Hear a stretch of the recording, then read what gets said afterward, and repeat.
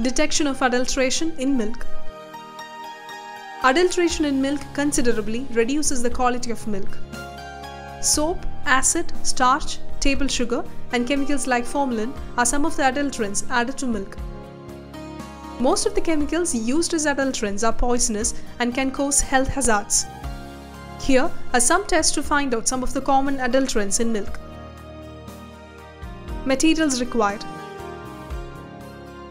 Milk, methylene blue, test tubes, water bath, concentrated HCl, resorcinol, iodine solution, concentrated sulfuric acid, 0.5% ferric chloride solution, phenolphthalein indicator, hot water, 2% sodium hydroxide, 2% sodium hypochlorite, 5% phenol. Procedure Arrange the required materials on the lab table. Detection of table sugar in milk. Pour 10 ml of milk into the test tube labeled table sugar and using a pipette add concentrated HCl into the tube. This should be done in the fume hood. Now shake the test tube gently so that the milk gets precipitated. Weigh 100 mg of resorcinol, add this to the precipitated milk, then shake the test tube well. The color of the milk solution changes to light brown. Now place the test tube with the test tube holder in a water bath at 100 degrees Celsius for 5 minutes. The color of the milk solution turns red, which shows the presence of table sugar in milk. If the color remains the same, it denotes the absence of table sugar in milk. Detection of starch. Pour 3 ml milk in a test tube labeled starch. Now place the test tube with the test tube holder in a water bath at 100 degrees Celsius.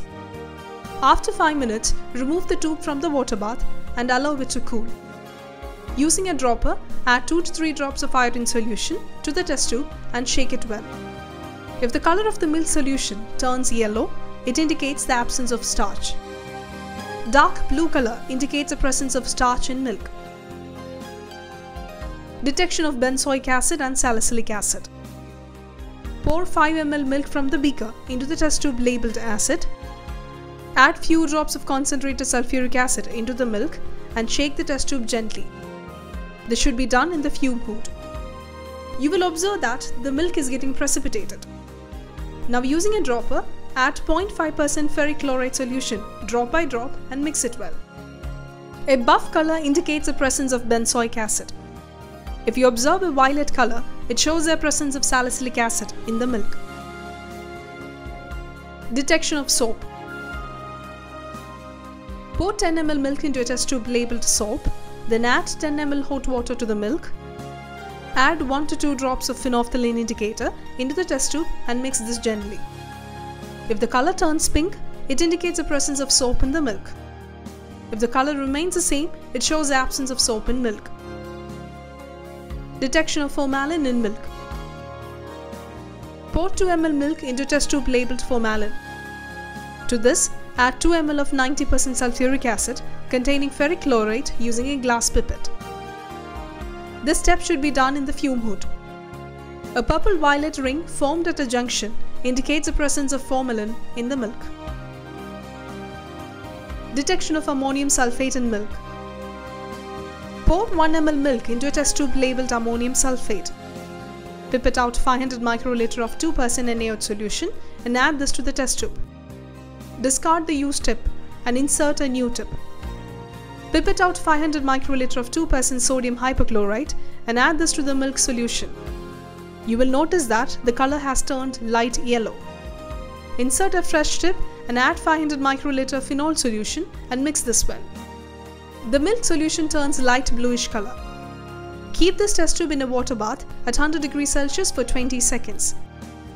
After 20 seconds, the color turns a deep blue, indicates the presence of ammonium sulfate. If the solution turns pink, it indicates the absence of ammonium sulfate. Detection of microorganisms in milk. Pour 10 ml milk from the beaker into the test tube labeled microorganism. Add 8 to 10 drops of methylene blue into the test tube containing milk and mix the contents well. The color of the milk solution turns blue. Close the test tube using cotton ball and keep it in the incubator for 30 minutes at 37 degrees Celsius.